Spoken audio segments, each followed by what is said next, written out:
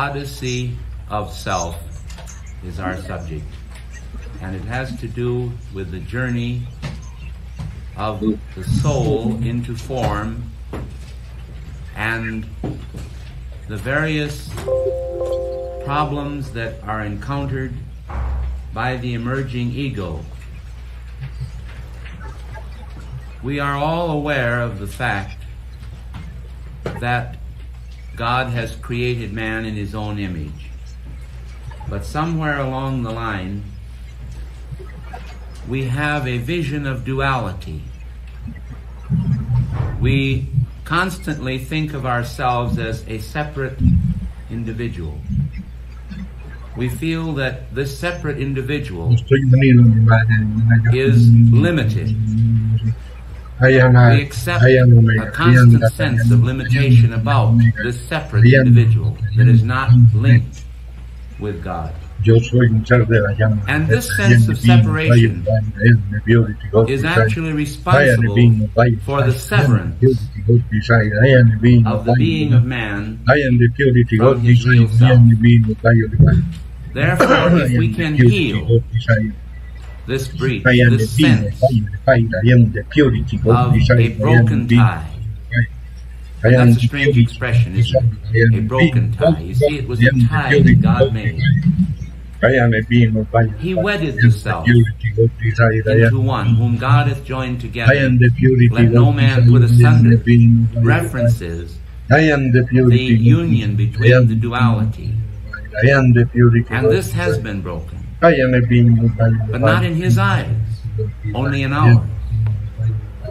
But because we have asked for free will, I am of said, Father, I want to be able to govern my own life, my own world, my own thoughts, to decide what I will do. Because we have asked for this.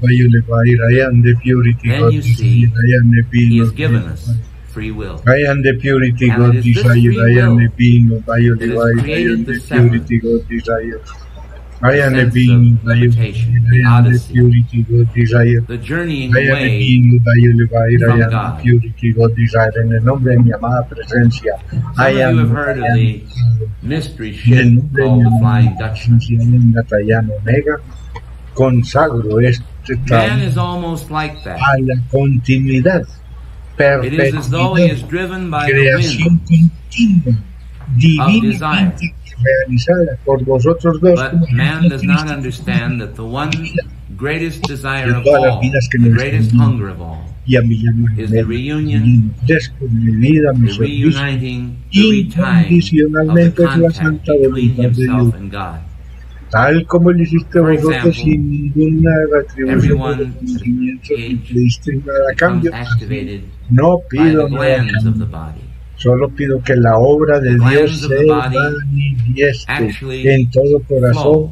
que la vea y la And they oiga flow forth an y energy. la haga. Por eso, It is not amados, just a la physical Nele matter. Guruma, It is a, en a el nombre real, yo soy, y genuine, mi amada spiritual presencia matter. Yanda Tayan Alba, This flow. en el nombre yo soy de mi amada And presencia the Yanda flow of the Tayan glands en el nombre activates de mi amado Santo Gurú, power Saint within the being Germain, of man, the en el creative nombre power. de su divina And this llama creative gemela, power drives Lady the Master youth, Percy, young os men, encomiendo to go todo out este into the world and seek for continuo themselves to find creatividad a mate. de Dios que sean And of excelsos course, y en hechos perfectos The y being of geometría man sagrada says to himself, para que I'm going out to find myself a mate. I have this hunger, I have this need. I must be sea reunited. Y sea engrandecido para todas las personas de habla hispana y de habla inglesa. really the hunger for Lo God. pido por todo el corazón, por todo el alma. Now we're going to talk about drink, about strong drinks. And I would like to relate this to Samson, because Samson was no different at his birth than any of you except that he was born a Nazarite. I believe that's correct. You see, no razor had come upon him. And there was actually a significance in this that allowed the creative power of the angels to work through him. he knew certain secret methods whereby he could draw strength from God. And he could wrap his arms around the pillars of a temple, a stone temple, and pull it down. What no man could ever do. He was the first Superman, you see. And he really was. He really existed. And he did these things. But what man has done, man can do. And one of the reasons why people love to drink is because it is a temporary substitute for the inhibitions and limitations people have established upon themselves. When they drink, the inhibitions are released temporarily and they feel good and they are much stronger physically for a time and even a bit more alert for a time. But it is a very short time before this stimulation passes into a torpor, a state of sleep or sleepiness. And the strength does not endure because it's phony, it's shoddy. It's like a Benny that the truck drivers take. They take these amphetamines and once again we have a state of chemical induction. And this state of chemical induction causes them to feel not in the least bit sleepy. They're not tired. And once again, energy is released, but where is it released from? It is released from the storehouse of energy that we have, and it is depleting what is known as nature's reserves. Every human being was built by God with a reserve system. And this reserve system is almost like if you were driving a large truck with a 50 gallon tank of gasoline. And then you have another tank of gasoline that has 50 gallons in it. So you use up your first 50 gallons and you're quite a ways from a station yet, but you know you have enough in that reserve tank to get there. So you open the reserve valve and you continue to drive. But remember, it only has 50 gallons in it. There is a limitation to it. And this is the way with people. While God has a continual system developed of recharging man, at the same time, if he uses up his normal energy supply, and then he uses up, in addition to that energy supply, his reserves, honey child, there ain't any more after that's gone. And I want you to know that there is a very definite relationship, according to Dr. Cowles, with the drop of energy and various psychotic states.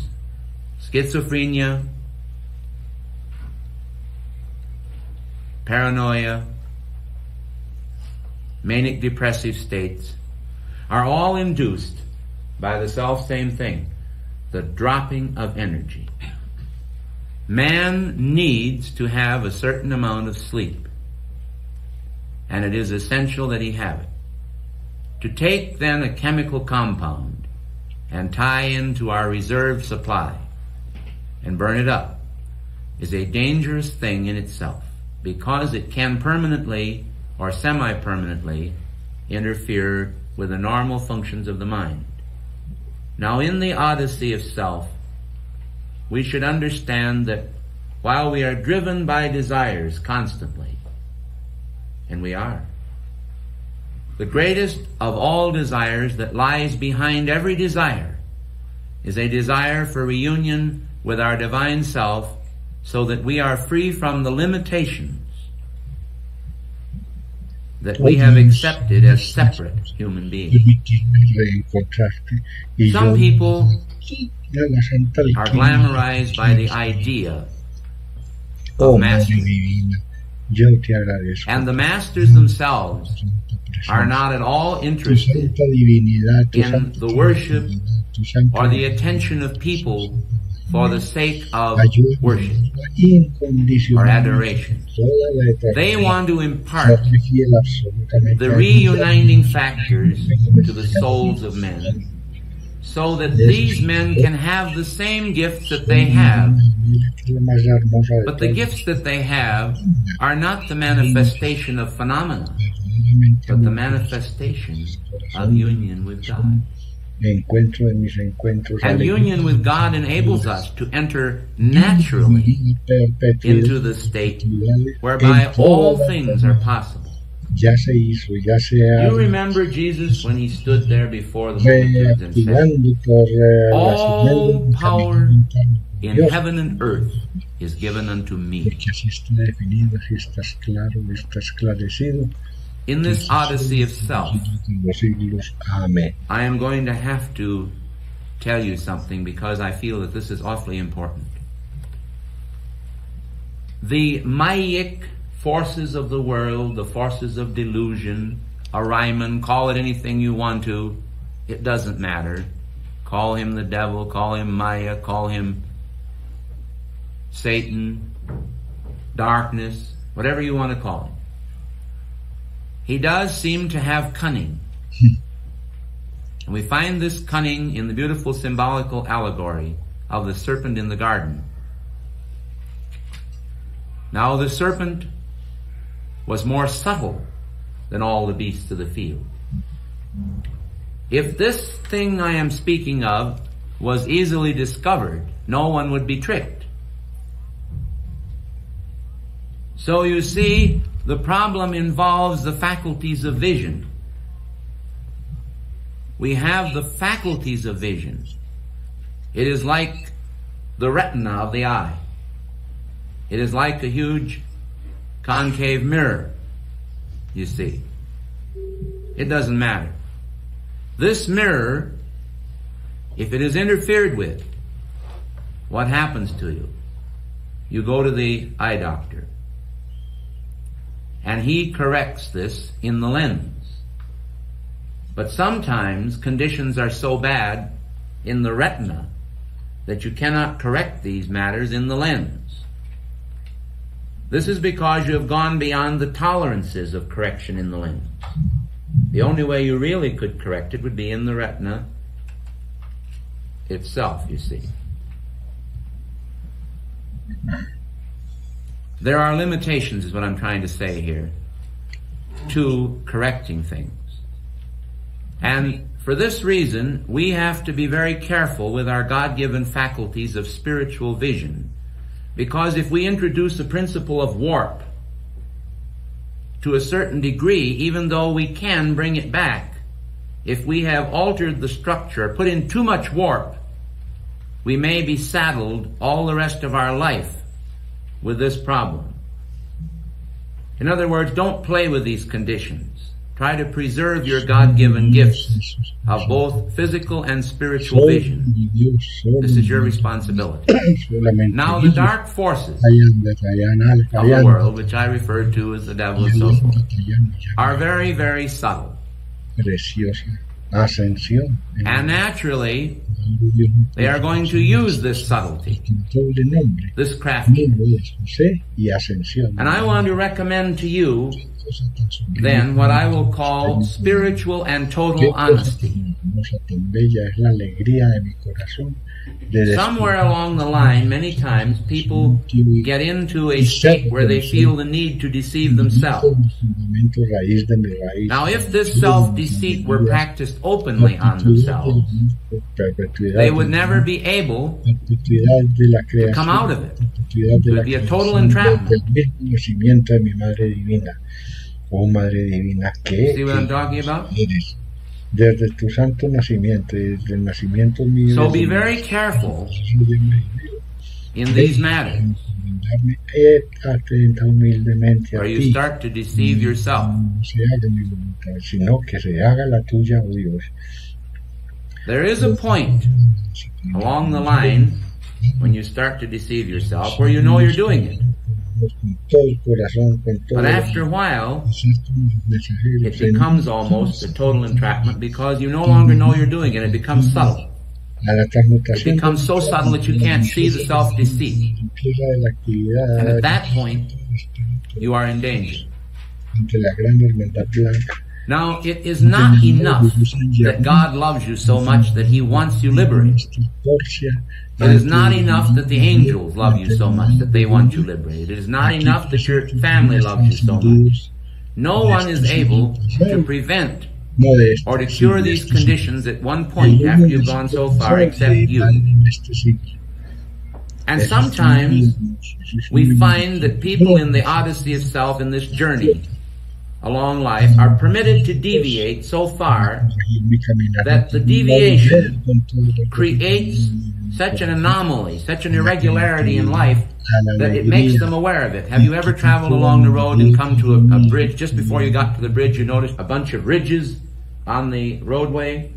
Or maybe you've noticed the yellow lines painted, one right after the other for a certain period and then another set of yellow lines. The yellow lines didn't work too well, the highway engineers found out, so they actually put ridges in there so that your tires go over these ridges and they almost shake you up. They wake you up. Because many people were killed by hitting bridge abutments, you see. So they put in these ridges in the road. And I think sometimes when people deviate very greatly from established norms, it is perhaps an easier thing to detect than when they deviate only a little.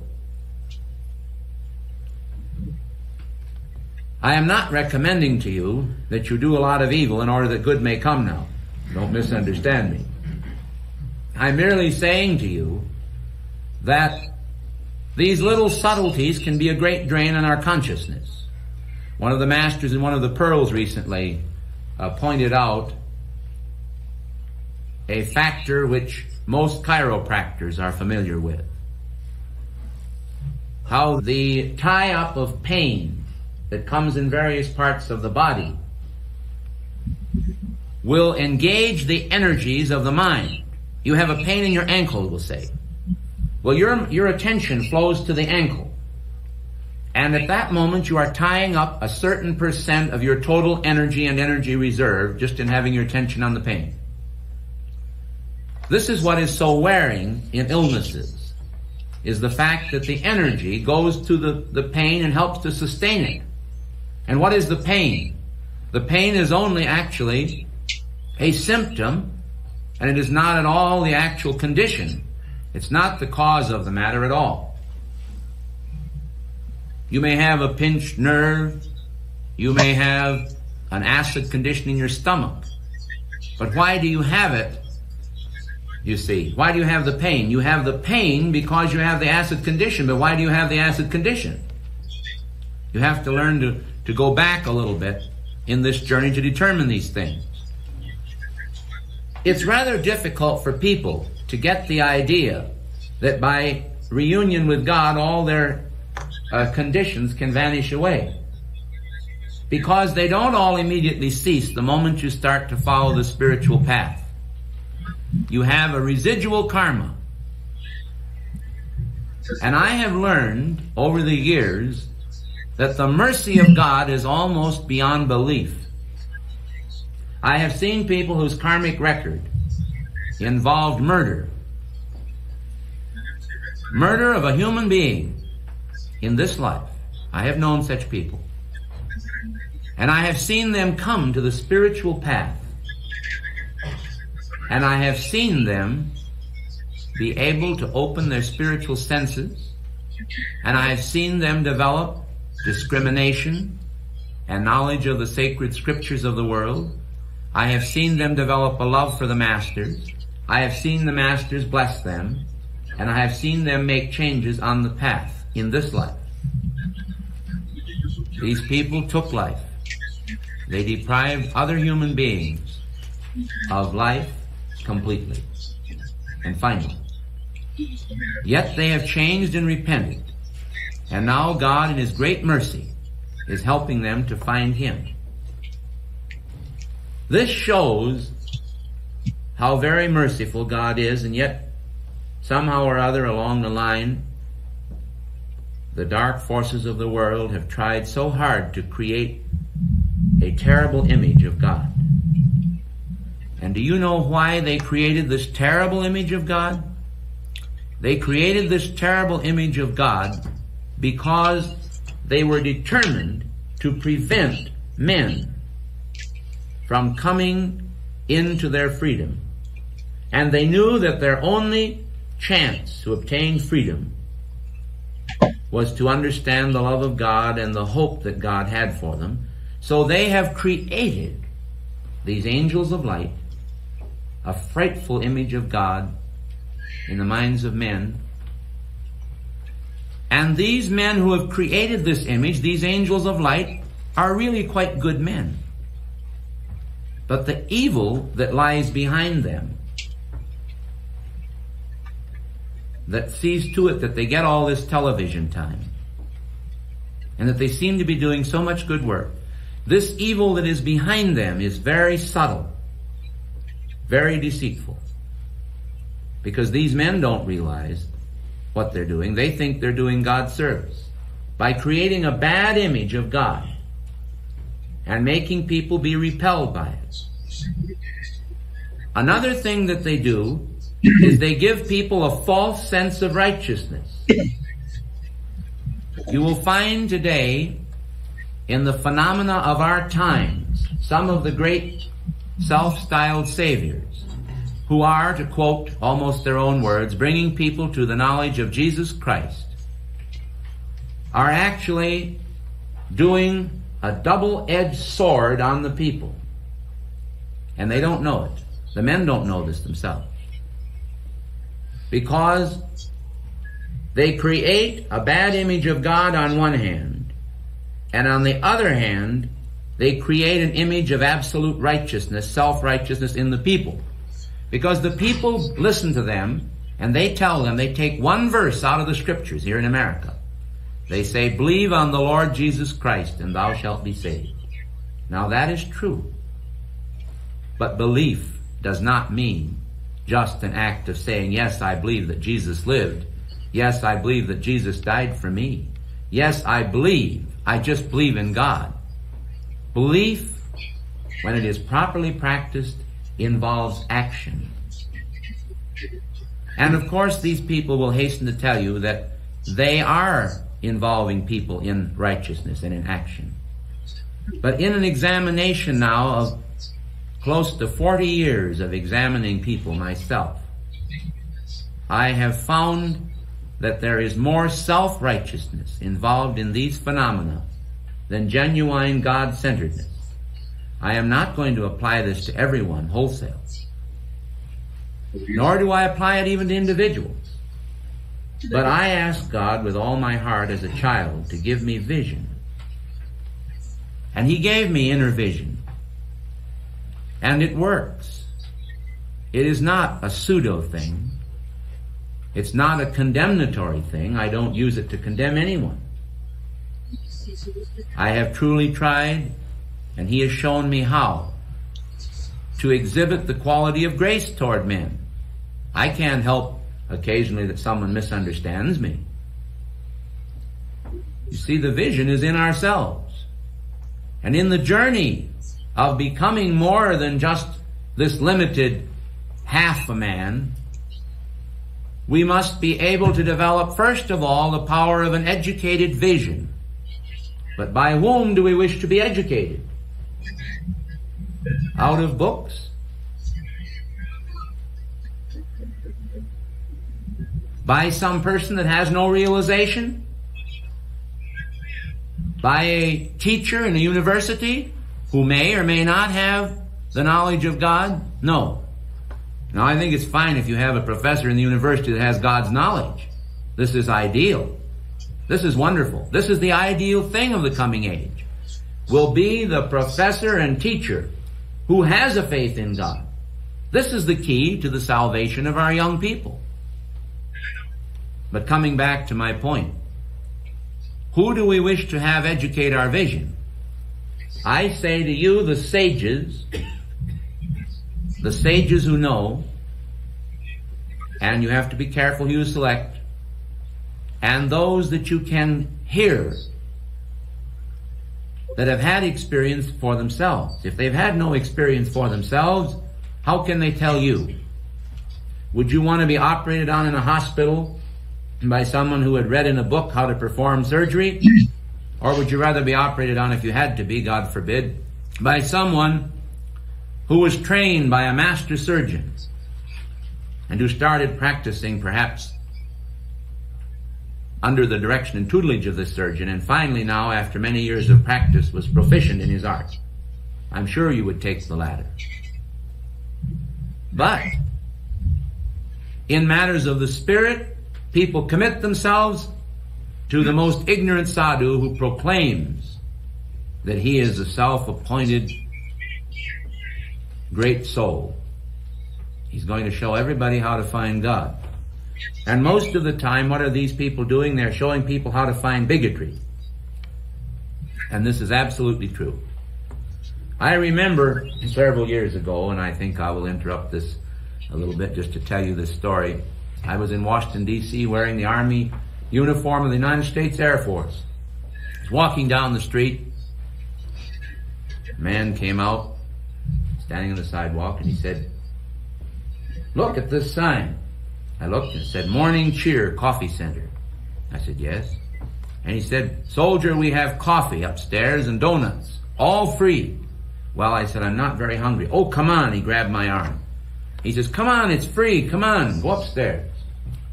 I didn't know that I was walking into a, a religious trap. But I was going into a religious trap. There was a spider sitting in there, and I was the fly. So I gingerly walked in, you know, and up to the counter. I was quite young and a little embarrassed. Uh, strangers bothered me a little. I had an inclination toward timidity. And I went in and the lady poured me the coffee and almost with shaking hands I grabbed this cup of coffee and I took a donut and I started from my chair and I sat down there and I was just pulling myself into a state of peace when suddenly I looked across the room and there a man about the size of Hans Schmidt. Is Hans here? Is he here? Well, Hans is a good sized man. He was about Hans's size, and he had a Bible almost as big as he was. He came running across the room, and he took this huge Bible, and he hurled it down on top of my table, like that, and the coffee almost jumped out of the cup. And he said, Brother, are you saved? Do you know the Lord Jesus as your Savior? Well, this was the first. This was my first attack in this manner. And I, I call it an attack. Because I looked up at him and then I regained my composure and I said, yes, I do know him. I'm quite well acquainted with him, in fact. He's a good friend of mine. And this so startled the man that he almost dropped his false teeth. But he said, how come, how does this come about? How come you know him? Well, I said, do you think that you're the only one that knows him? And, uh, so we got into quite a session there and he found out that I was a mystic. But he didn't like mystics. They had to have come through the Baptist or the Methodist or the Presbyterian or the Episcopalian or some church with which he is familiar. He didn't like mystics. So he said, I think that you're a little bit too hot for me to handle. He didn't tell me that just in those words, but he said, I'd like to have you come and meet my pastor. So I said, all right, I'll go. I said, where's your pastor? He says, out near Brandywine, Maryland. Well, I didn't like the name very well, but I thought, all right, I'll go out there. So we went out in the car and I found his pastor was a nice young man with a pair of spectacles on. I didn't wear them at the time. And so I shook hands with him. He looked like a scholar and a gentleman. So he says, why don't you stay for dinner with us tonight? So I said, all right. So I sat there and this was the approach now of the Christian church on me. I'm sitting there having dinner with them and I enjoyed my meat and potatoes pickles and bread and everything else. And just as I came down to a huge piece of chocolate cake, the man looked at me and he said, you know, in the Christian Bible here, it says that I'm not supposed to eat with anyone like you. Oh, happy day.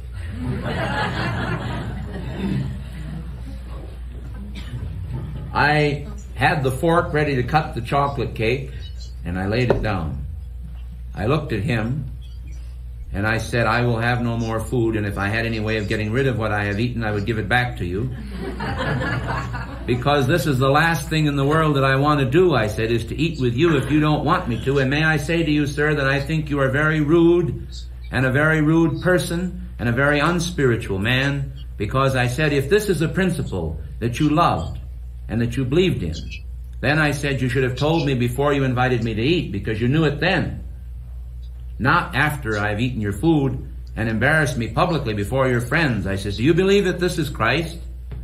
I said, I don't believe it's Christ. And I said, if you will please excuse me, I'd like to leave your home. So I went to the door and I stood there.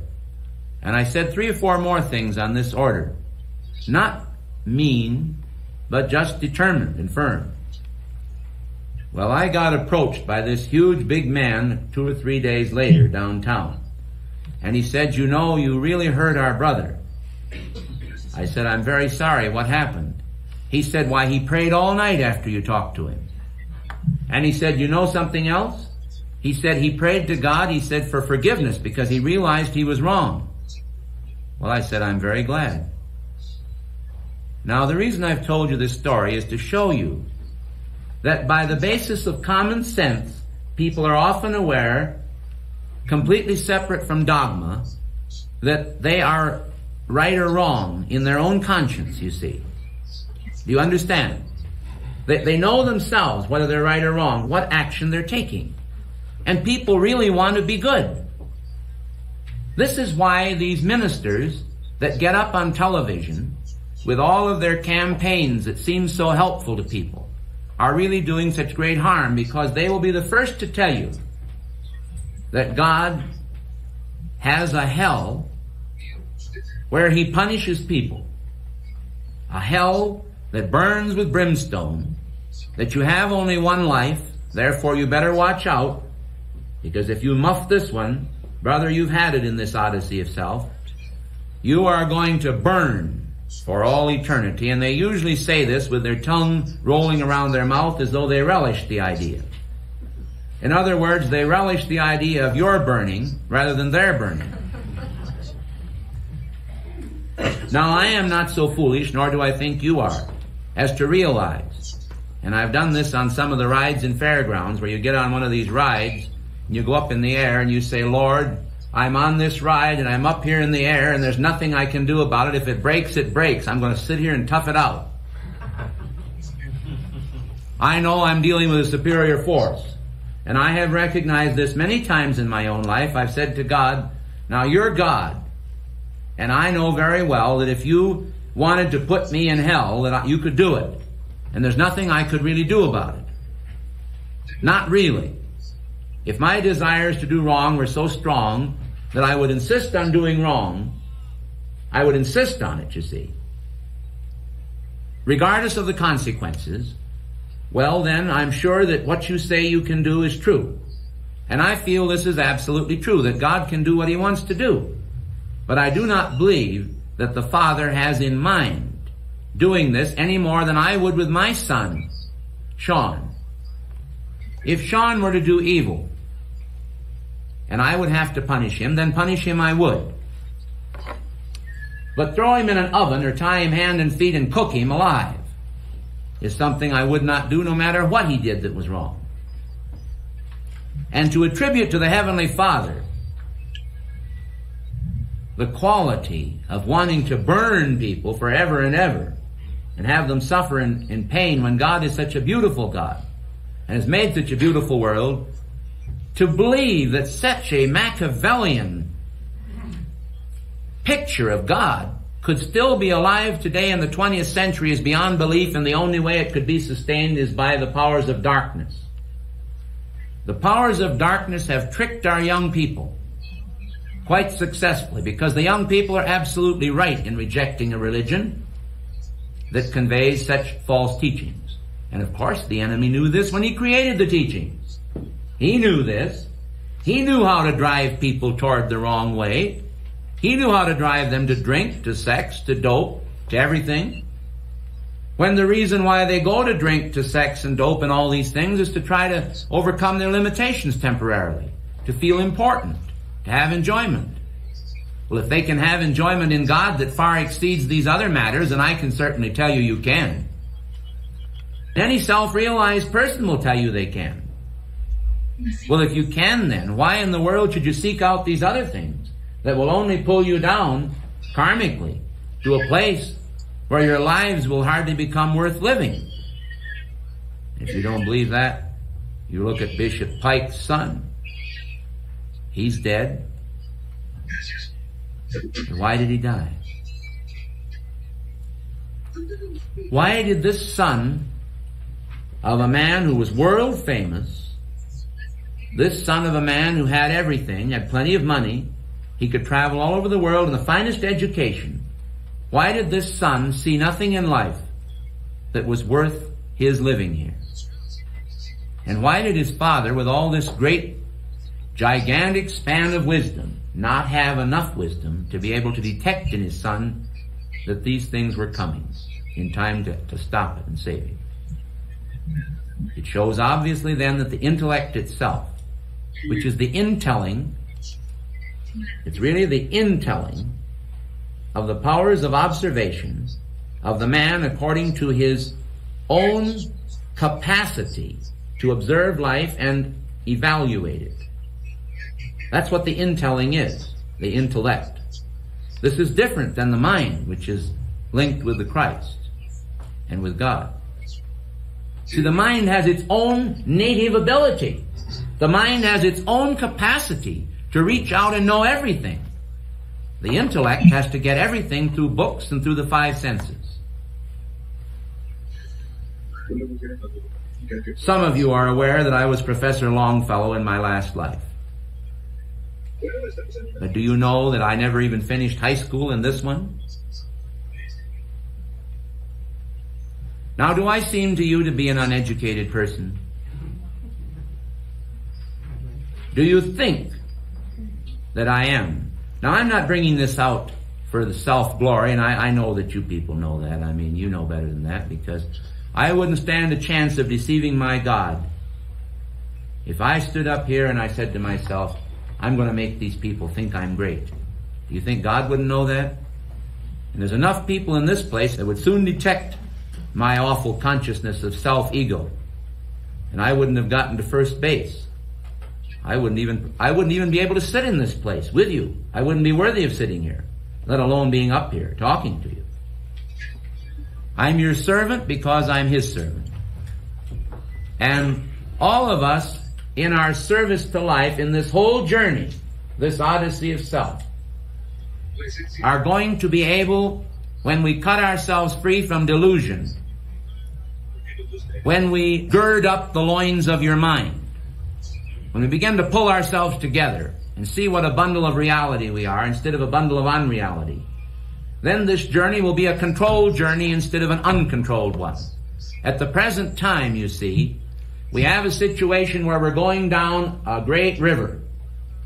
And as we go down this great river, we come around a bend and suddenly there's a huge waterfall, a rapids below. When we hit this rapids, our boat is bobbing up and down. And we're fighting for our life. Hmm. well, we get through the rapids all right, after a terrific struggle, and we come to a very calm pond. Now we row across the pond. When we're in the rapids there, we're fighting for our life, we're very unhappy, we're struggling. When we hit the pond, then we're all very calm and sweet and well behaved. Here is the whole thing in the Odyssey of life. Anybody can be well behaved on a still pond, but can anybody be well behaved on a rapids? This is the test of the man. This is the test that comes to us in order to show us that we have mastered the calmness of mind that God is. So I have long contended in the matter of disciples coming here to live in this ashram that if they stayed at home in Nebraska or Tennessee and lived in a little house up in the hills somewhere where they didn't have any contact with people, that their dispositions would probably be very calm and sweet. But that when they come in here where they are rubbing elbows with everyone else, that then the ego is tested to see whether it can really be capable of manifesting sweetness. Now, to be very honest with you, these qualities are not your own. This, a person that comes in here and masters his life here in the summit headquarters, a person that becomes a complete devotee of the light, when he makes his victory, it's really done through God. I, I, I will kid you not. But at the same time, everyone that comes in here says, first of all, well, I'm going to try to see if I can do it. Well, they can't. None of us could. No one can. Even the great swamis, they know this. They're the greatest of them, know that man himself cannot do it. But God has created a mechanism in the universe. Not just one, but a series of mechanisms. He has created a series of saints that are real. And all of these people, together with the mechanisms, when they're properly utilized, will enable us to understand how we can navigate the subtle world. when we can navigate the subtle world, then life and death are meaningless to us as far as uh, being a curse or ugly. They become beautiful. Both death and life are the same. This is how you foil the power of Yama, you see, the power of death. You foil it because, what does the Bible say? The last enemy that shall be destroyed is death. But what did the psalmist say? I will fear no evil, for thou art with me. Thy rod and thy staff, they comfort me. Thou preparest a table in the presence of mine enemies. Thou anointest my head with oil. My cup runneth over. What does the world do with that? You know what the world does with that? They say, the Chevy is my auto, I shall not want another. It leadeth me beside the repair shops, it vexeth my soul. Its rods and its pistons annoy me. It has a breakdown in the presence of mine enemies. If this thing shall follow me all the days of my life, I shall dwell in the bug house forever. This is what people say. You see how they turn the, the sublime into the ridiculous? And we'll all laugh at it because it is funny. But how many of us can actually live in the consciousness of the calm flow of the river and be a calm river regardless of whether we have the rapids or whether we have the rocks or whether we have the calm sea? You see what I mean? This is the odyssey of life. You take it, you live it. Thank you.